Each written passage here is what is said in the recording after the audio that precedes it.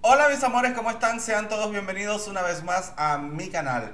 Gracias por pasar. Hoy tenemos la revisión del episodio número 6 de la primera temporada de Drag Race Holland. Así que sin más, nos vamos con la intro y vamos entonces a regresar con todo lo que hay que contar de este episodio. ¡Hey, hey!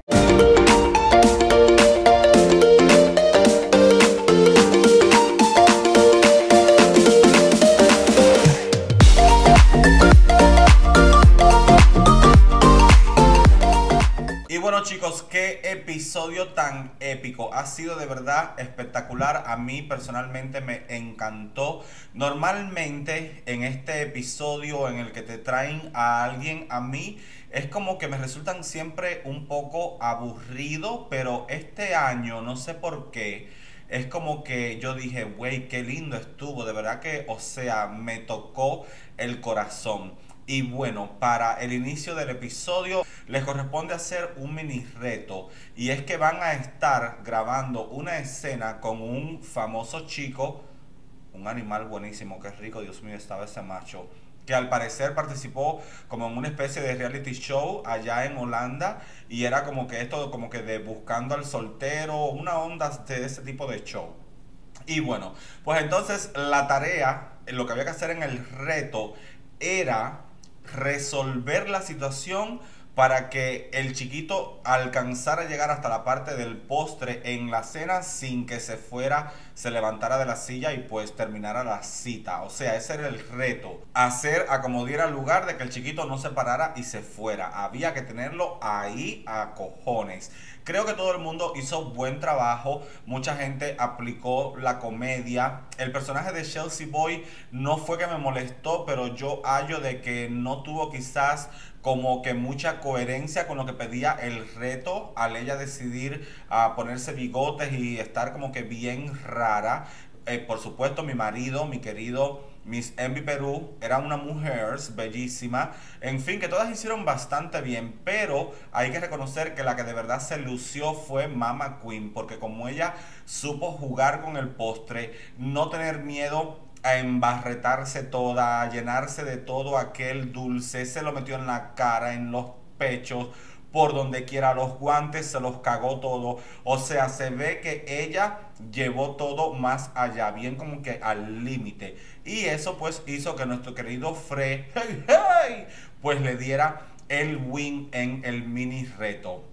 Para el Massy Challenge, las chicas tenían que transformar a un familiar cercano o también podía ser un amigo y tenían que buscar obviamente lo que era el parecido familiar.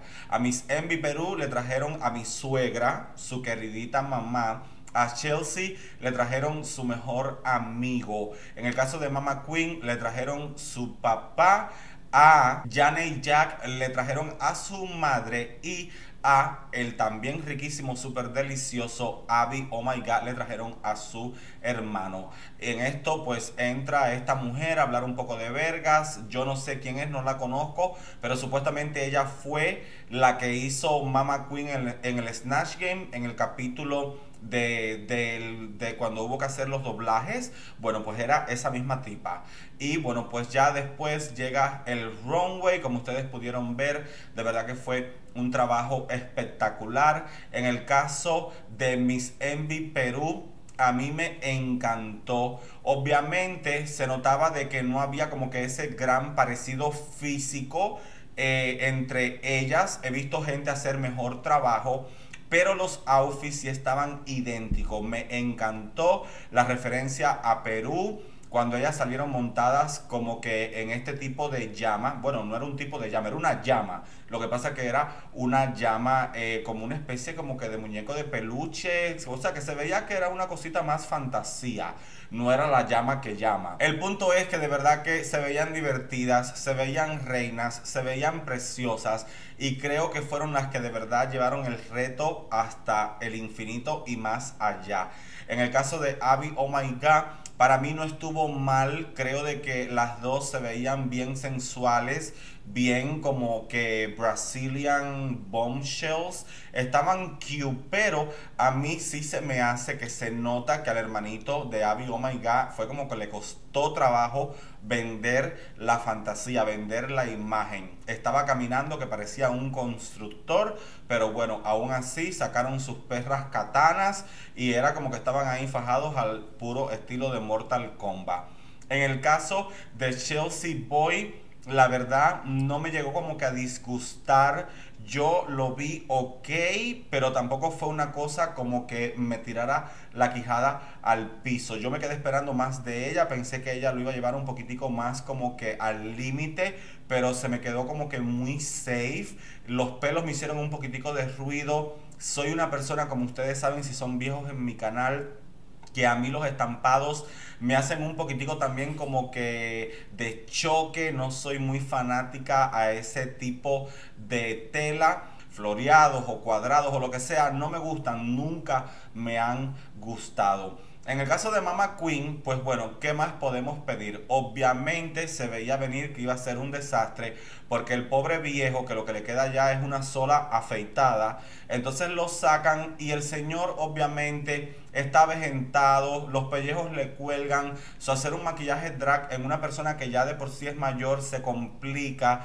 Y pues bueno, creo que Mama Queen salvó la situación lo más que pudo, el señor también lo hizo bastante como que mal en el runway, pero yo la respeto porque honestamente si nos ponemos a ver a los detalles, a ella fue a la que peor le tocó en todo el equipo, porque era un hombre mayor, heterosexual y, o sea, tratar de sacar algo de ahí, mi amor, eso de verdad que es una misión imposible. Yo creo que por eso es que ella no la mandaron al Baron, porque es como que ellos dijeron, güey, mira lo que ella ha hecho con este viejo, ha sido un milagro de la naturaleza. Y como también ganó el mini reto, pues a lo mejor eso fue lo que la ayudó a salvarse. Y bueno, pues en el caso de Jane Jack, a mí la verdad sí estuvo ok, pero como quiera que sea, su mamá obviamente mujer, las facciones era más fácil trabajarlas, la señora de por sí ya es alguien que tiene de cierta manera como que ese dominio de la femineidad, también sabe caminar en tacos y a mí cuando yo lo llevo a comparar, por ejemplo, con el caso de Envy Perú es cuando yo digo, bueno, aquí tenemos dos señoras casi probablemente de la misma edad, con casi que la misma estatura, rellenitas, y entonces es como que ya tú te pones automáticamente a comparar. Tú dices, bueno, es un caso muy parecido a este caso, ¿cuál de los dos fue superior? Y eso dejó a Jane Jack un poco como que en desventaja en comparación a Envy Perú que resulta que rompiendo un récord, creo que ahora sí ya nunca antes visto en la historia de RuPaul's Drag Race, pues vuelve a ganar la semana. ¿Me molesta? La verdad que no. Yo creo que al menos para mí sí fueron las mejores. Había color, había creatividad, originalidad. La idea de la llama fue única. Yo creo que el alcance del reto que hizo esta dupla fue de verdad y Obviamente al Baron entonces les toca irse a Janet Jack en contra de Chelsea Boy. Y es muy lamentable porque a mí se me hace como que Chelsea Boy era una persona que merecía durar más en la competencia. Yo creo de que ella ha hecho mejor trabajo que Janet. Pero es cierto que a lo mejor la incomodidad del outfit o lo difícil y trabajado que estaba el cabello fue como que limitó un poquitico a Chelsea Boy. Ella se veía incómoda. A mí lamentablemente no me dio la vibra de la canción, no me la vendió full. Por otra parte, y Jack nos sacó este lado cómico pero sensual, provocativo. Yo estaba que mis ojos a mí no se me iban de la pantalla con la chiquita. Yo toda la atención se la dediqué a ella. Por lo que el jurado al parecer vio lo mismo que yo como público como televidente vi. Y bueno, pues el jurado decidió que se quedaba Jane y Jack y entonces le dieron el sachet te vas a Chelsea Boy. De verdad me dolió. Yo siento que Chelsea merecía altamente la posibilidad de ser una finalista del show.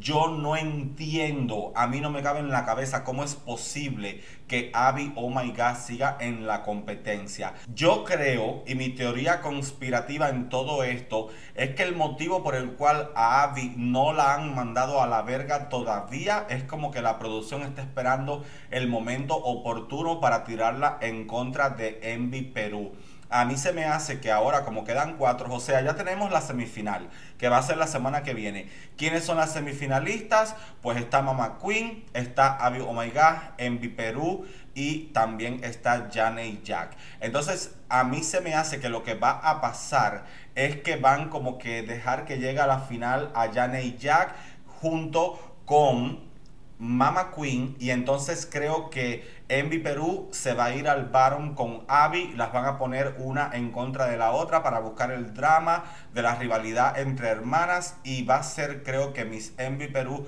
la que finalmente va a mandar a Abby Oh My God para la casa como para buscar los ratings y así pues creo que quede conformada la final que sería a mi entender entre Jane Jack, Mama Queen y Miss Envy Perú. Pero todos estos son conspiraciones, teorías locas de mi cabeza enferma. Vamos a ver qué sucede. De todas formas, chicos, el episodio estuvo bueno, fue injusto, pero bueno, las injusticias no es nada nuevo en este tipo de reality. Igual no las hicieron la semana pasada dándole el win a mi Henry Perú, mi marido, que lo amo, pero realmente no se lo merecía. Votaron a Cedergin, que era una de las favoritas del público. Así que ya, ¿qué más podemos esperar? Aún así, sigo depositando mi amor, mi confianza, mis respetos en el show. Creo que nos han entregado una temporada muy buena, a pesar de que fue grabada muy reciente, apenas hubo tiempo de editarla, cosa que se ha notado porque se ha visto como se han saltado cosas enormes y muchas cosas sin sentido que ha habido en toda la temporada, pero bueno, creo que aún así con todos los defectos que han habido, que sí reconozco han sido muchos, ha superado en creces a otros shows como por ejemplo el que siempre traigo a relucir, que es el caso de Canadá, que fue un perro asco. Gracias por pasar, los amo mucho. Nos vemos entonces el jueves a las 6 de la tarde en el canal de Twitch que tengo secundario en el Latin Drag Race para ahí ver la semifinal en vivo a las 6, repito, hora local mía de Miami. Saquen ustedes la cuenta en su país. Los quiero mucho, gracias por acompañarme. Suscríbete, activa la campana de notificaciones, regálame un like, comenta, siempre te contesto y no te pierdas porque siempre estoy subiendo constantemente videos en mi canal. Gracias por pasar y nos vemos en un próximo video. Bye.